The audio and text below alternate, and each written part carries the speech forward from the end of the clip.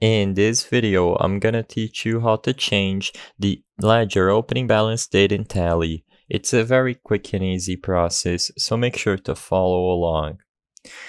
To set the opening balances of ledgers to nil, you need to enable the option Zero Op Bal.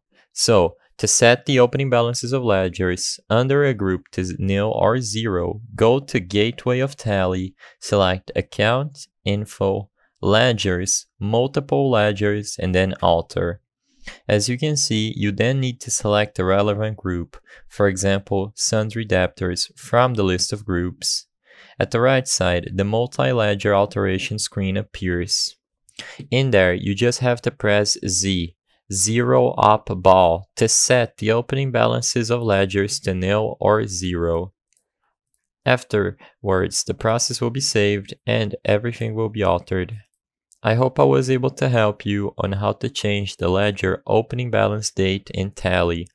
If this video helped you, please be sure to leave a like and subscribe for more quick and easy tips.